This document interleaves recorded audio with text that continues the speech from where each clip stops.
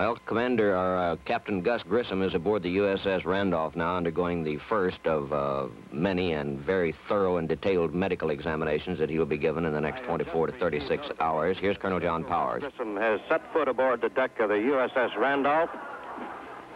Well, that's the information that you As got you yourself heard, a moment ago there from are the some people here in the Mercury Control Center who are very, very happy. I'll repeat what happened downrange in the pickup area.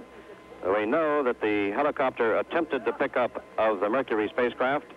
We know that Virgil Gus Grissom got aboard the helicopter. We also know that some kind of malfunction occurred. The spacecraft was dropped in the ocean and sank. And this is John Powers in the Mercury Control Center signing off at this time. Well, well, thank you so much, Colonel John Powers. All the newsmen call him Shorty Powers because he's an extremely gregarious and happy sort of fellow, pilot himself, and extremely easy to get along with, very cooperative, and has been of enormous benefit to us as well as you on both of these space flights.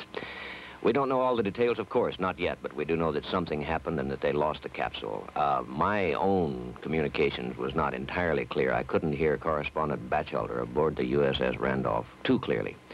But from what I can make out, uh, some sort of a leak uh, sprang in the uh, in the capsule in the water. They got the astronaut Grissom out. They once had the capsule itself hooked and possibly lifted a few feet above the water, and then they lost it. It dropped back onto the water and then went under the water.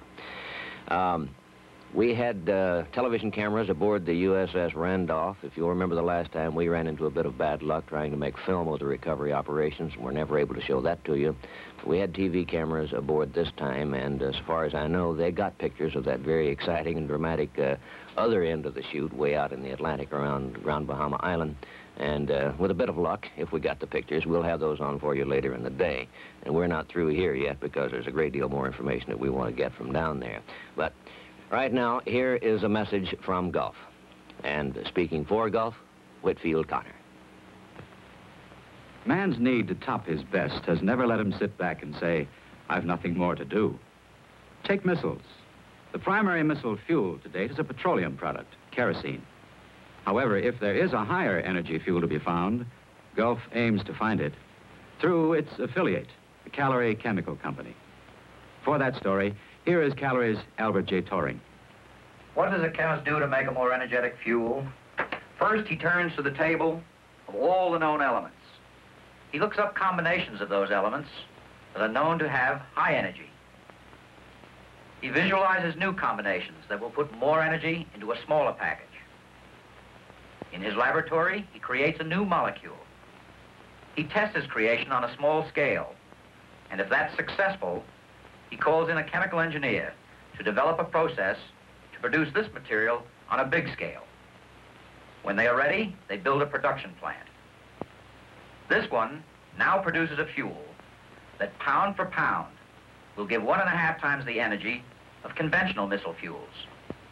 It's liquid pentaborane, a tremendous step closer to the ultimate in usable chemical energy. Whether it's pentaborane or Gulf kerosene, Gulf's dedicated purpose is to develop more and better energy for whatever the work there is to be done. To recap briefly, we have had a second successful launching of an American astronaut. Obviously, not as successful as the first one because the capsule itself was lost in the recovery operation, but successful in its most important and critical area. The astronaut himself, Air Force Captain Virgil Grissom, was recovered, is now aboard the USS Randolph in the Atlantic and will soon be steaming toward Grand Bahama Island. He is undergoing the first of his medical examinations. Correspondent aboard the carrier said that he seemed to be, from just a visual observation walking from a helicopter into the captain's quarters, in good condition. We hope to have more information for you as time goes on on what actually went wrong and why they were unable to recover the capsule itself. Right now, let's check in with our anchor man at Cape Canaveral, Pete Hackes, and see what he can tell us about things that happened during the launch and maybe have some new information for us. Peter? Uh, Frank, uh, we've just had a report from the carrier, the first report on the condition of Gus Grissom, that uh, he appears to be in good physical shape. Of course, we'll hear refinements of that as time goes along. Um, what I started to say was, uh, even though this is the second time around, and we all thought we knew what we were expecting, the tension here was still, I think, just as great as before. Uh, the feeling, I think, uh, subconsciously being everything went so well the first time, uh, there were was a, a, a, sort of a back of the mind feeling that perhaps something might go wrong. Nobody was saying it. Nobody was really uh, looking for it. But uh, it was the uh, kind of thing that we had thought possibly might take place unconsciously. And a great relief, of course, here when nothing did. The uh, picture on your screen now, if you can see it, Frank, is the remainder of pad 5, from which point uh, Gus Grissom took off this morning. Doesn't look nearly as awesome now as it did a few moments ago, does it, Pete? That's the launch ring from which the entire vehicle took off. It, as you say, it looks a little bit uh, uh, less imposing than it did just before the flight. I might add one thing. You uh, did hit an interesting point in that the flight, I think, cannot be considered nearly as successful. We have lost a, an immensely valuable part of this thing in, the, in losing the capsule itself. Well, Pete, uh, uh, excuse me, Pete, don't you imagine there'll, there'll be uh, considerable effort made to recover that capsule? Uh, Frank, I think all the efforts will surely be made, but how you can go down uh, in the middle of the ocean or even at the edge of the ocean and pick that up is something I can't see. Mm-hmm. They may make an attempt. I'm sure they have scuba divers and what all uh, there, but this is uh, something that uh, sinks in about uh, half a second yeah. and at uh, tremendous depth. Uh, inside, of course, we do have, uh, we hope anyway, uh, indications of good uh, telemetry and good readings from inside the capsule here at Mercury Control. Pete, let me clear up one thing. I, as I tried to explain a while ago, I couldn't hear too well, uh, Batchelder down on the Randolph. Um, did, did, the information that you have there, and don't commit yourself if you don't know, uh, did the capsule spring a leak on landing in the water? Was that what happened, or have you been able to find out yet? Frank, uh, our information here is just about as sketchy as yours. Mm. Uh, I just don't know exactly what happened. It could be that one of the uh, hooks uh, slipped out, uh, one of the rings uh, slipped out, and uh, or perhaps the uh, cable separated. We're not quite sure exactly what happened. Mm-hmm. But inside the capsule was a wealth of information on this flight. For example, uh, there were two cameras aboard. Yeah. Uh, color film, a special high-speed color, which gave them 50% more film this time than last time. One of them was focused on uh, uh, Gus Grissom's face. Uh, you remember the uh, film we had in color of the Shepard flight. This was a duplicate of that. The other camera was a had a twofold purpose. It was focused on the instrument panel itself, uh, and uh, uh, pardon me, the, the, the camera that was focused on his face was also focused on the panel by way of that reflecting mirror you saw strapped to his uh, spacesuit. Yeah. So that uh, that's lost, plus the other camera, which was a straight shot in color of the instrument panel itself.